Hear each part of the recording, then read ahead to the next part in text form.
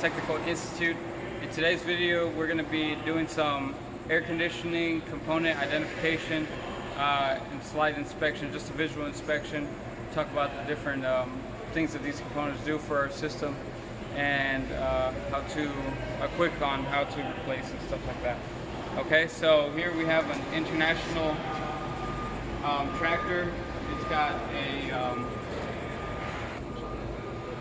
Max Force motor, I'm sorry.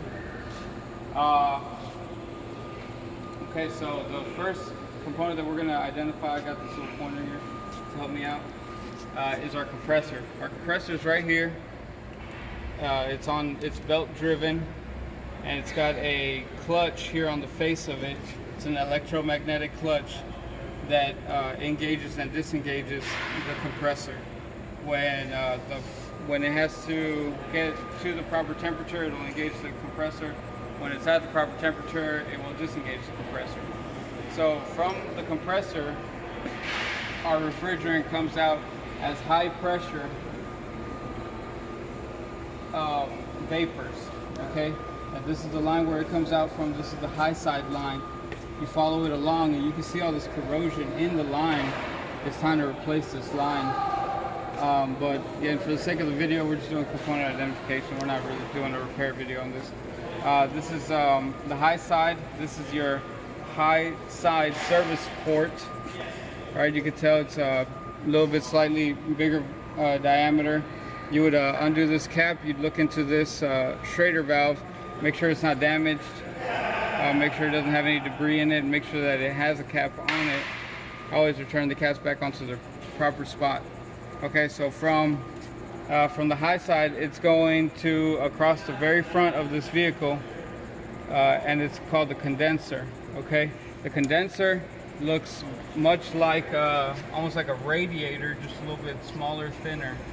Okay, and um, as the freon's going across it, you know, this vehicle would be riding down the highway, and the uh, cold air from the road would be blowing on it, and it's cooling uh, cooling the the refrigerant as it's going back and forth across those fins, uh, and it comes out as a uh, as a liquid, right? Because it's uh, it's uh, cooled back down, so it's returned to a liquid state, and uh, then it comes across this line right here, and this is um, at this point it's a it's a low pressure line, right? And it comes just keeps coming across, and as it goes up this way, uh, I don't know, it's a little bit hard to tell. I'll try to use my pointer here.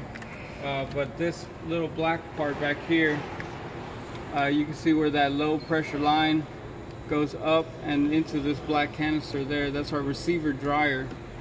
Okay, and then it comes back out of that. Comes back out of it, comes down on this tube here from the dryer.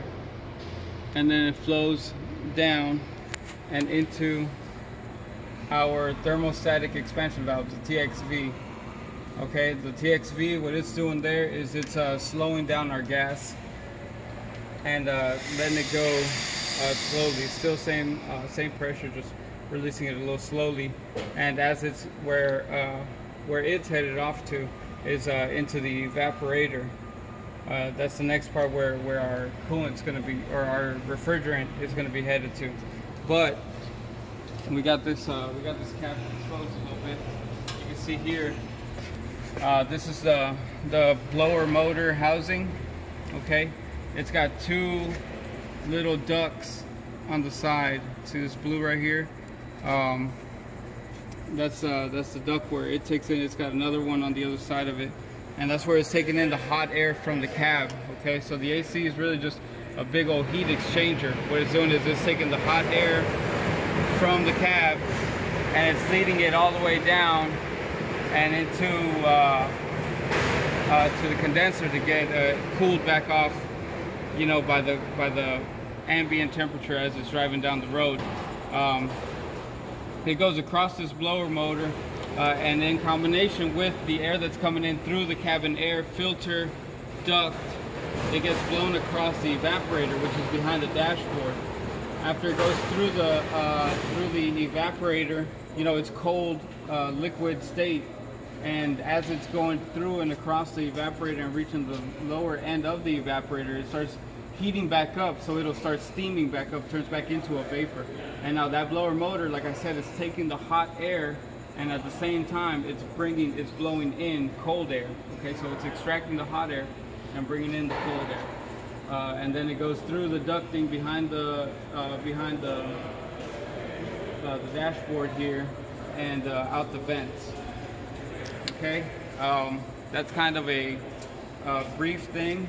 When when you're in here some of the things that I guess you're going to want to check at is all these electrical connections make sure that they're all secure plugged in place. Sometimes the, the blender motor on these things can go out and it'll cause uh, air to come out of some vents but not all vents. Uh, you have to make sure you uh, do the quick visual inspection. Like I said, those lines were really corroded. It's probably time to replace those lines. Um, and yeah, I guess that's been our component identification video.